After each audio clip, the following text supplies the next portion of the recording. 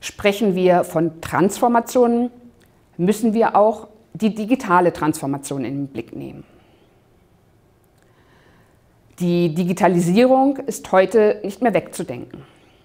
Wir alle nutzen digitale Geräte, Infrastrukturen, Kommunikation und unsere Welt wird dadurch immer vernetzter.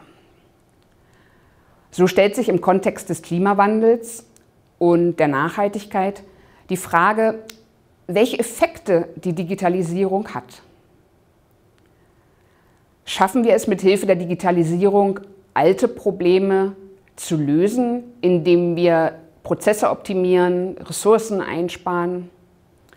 Oder entstehen auch neue Probleme durch die Digitalisierung, die sich dann zum Beispiel negativ auf das Klima und die Nachhaltigkeit auswirken?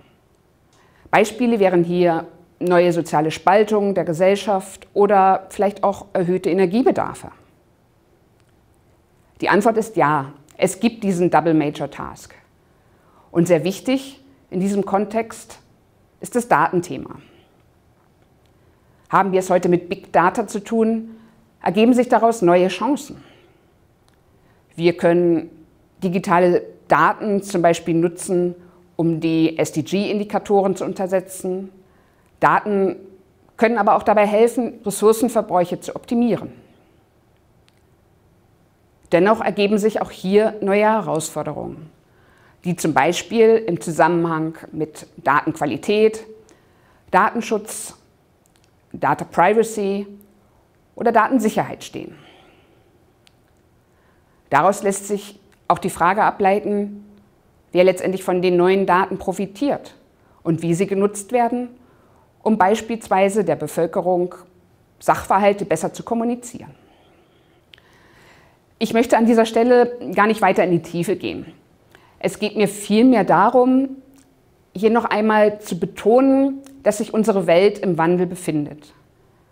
Der Klimawandel ist ein wichtiges globales Phänomen, das wir mit noch mehr Kraft angehen müssen. Aber der Klimawandel kann nicht losgelöst von anderen Wandelprozessen gesehen werden. Dies zu verstehen und anzuerkennen, ist ein erster Schritt dahin, dass wir unsere Welt nachhaltiger gestalten. Wir sind jetzt am Ende dieser Lektion angelangt. Ich hoffe, es hat Ihnen gefallen. Sie konnten Neues lernen und auch etwas mitnehmen, vielleicht ganz für Sie persönlich auch, für die weitere Arbeit und den Umgang mit dem Klimawandel. Vielen Dank.